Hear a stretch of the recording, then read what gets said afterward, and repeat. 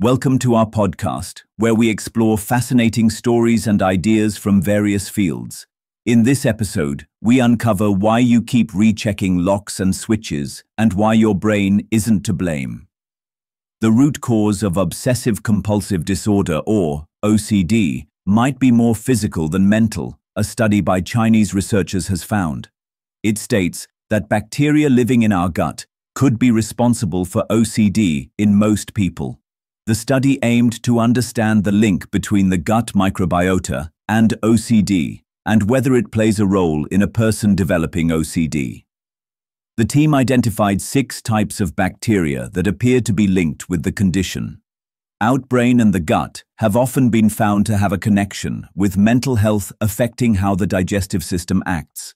However, this is the first time that scientists have gathered evidence that shows gut bacteria affects mental health conditions.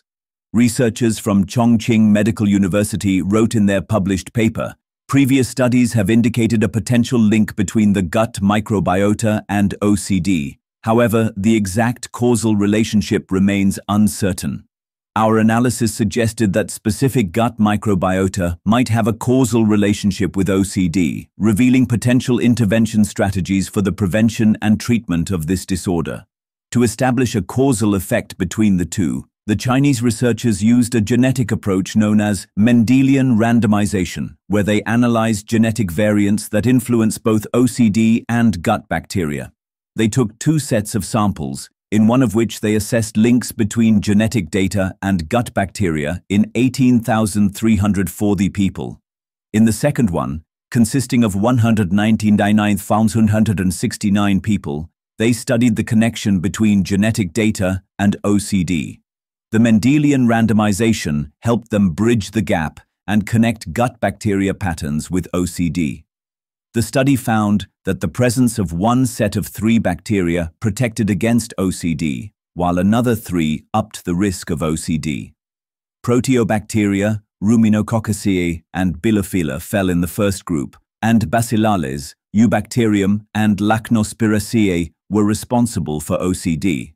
A link between gut and brain is not a new revelation. A past study found that low levels of Ruminococcaceae species could cause depression.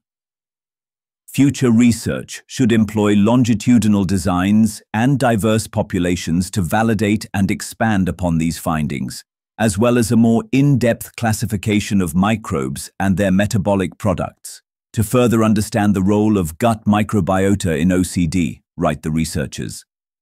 Scientists are hopeful that the latest research on gut microbe and OCD could help treat the condition someday. However, that might be still far off into the future. The research was published in the Journal of Affective Disorders.